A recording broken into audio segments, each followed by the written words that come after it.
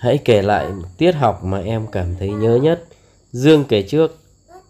Xin chào tất cả các bạn. Các bạn ơi, hôm nay là thứ hai đầu tuần. Chiều nay chúng mình đi học thêm các bạn ạ. Mình vừa mới đi học về này. Bây giờ cũng khá là muộn rồi.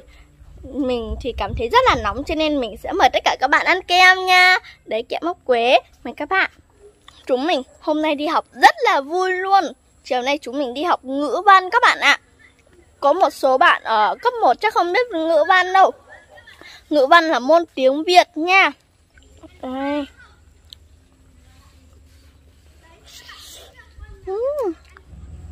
Các bạn ơi, đã bạn nào ở đây được thử cảm giác làm hoa hậu vì ớ hậu ở lớp chưa?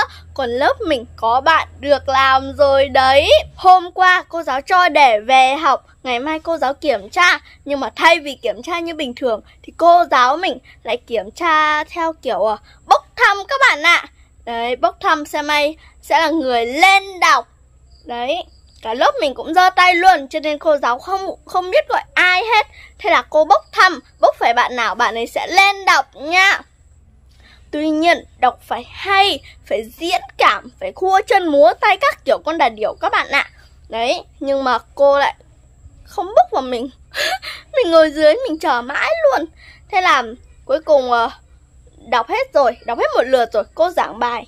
Xong rồi cuối cùng cô lại ờ, cho làm tiếp để xem xem từ nãy giờ cô giảng các bạn đã hiểu được cái gì chưa? Đấy. Xong rồi cô mới cho thi tìm từ ghép từ lấy. Còn tổ mình thì uh, chơi nối từ các bạn ạ. Nối từ từ ghép từ lấy thì cũng được hết á. Thế là cuối cùng uh, mình còn đúng mình với duy nhất một bạn nam. Thì thế là bạn ấy uh, chơi cái quả từ nó khó quá, nó cụt luôn. Thế là mình không thể nào mà tìm được. Cuối cùng bạn ấy thắng. Cô giáo, mỗi tổ có một bạn thắng các bạn ạ. Thế là hai bạn ấy lên thi đấu chọn từ. Thế là cuối cùng ờ, bạn nam ở tổ mình thắng luôn. Cô giáo còn bảo thưởng cho 2 triệu. Các bạn thấy kinh chưa kinh chưa? Đấy, nhưng mà 2 triệu của cô giáo ấy chỉ à, có ba số không đằng sau thôi các bạn ạ. Các bạn biết sao không? Tại vì những cô giáo cô giáo mình bảo là những người uh, dạy ngữ văn ý người ta hồn nhiên bay bổng lắm. Chứ không phải uh, như toán như môn toán các bạn ạ. Cô giáo dạy ngữ văn hồn nhiên bay bổng lắm. Cho nên 2 triệu của cô là 2 nghìn đấy. Thế là cuối cùng bạn ấy vẫn được giải và trao vương miện hoa hậu. Chưa có ớ hậu các bạn ạ. Đấy. Buổi học hôm nay của chúng mình rất là vui luôn. Rộn ràng.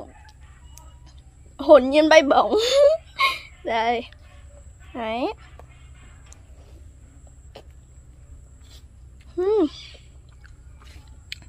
Trời ơi. Về được cây kem mắt rượi luôn. Hmm. nó quá là ngon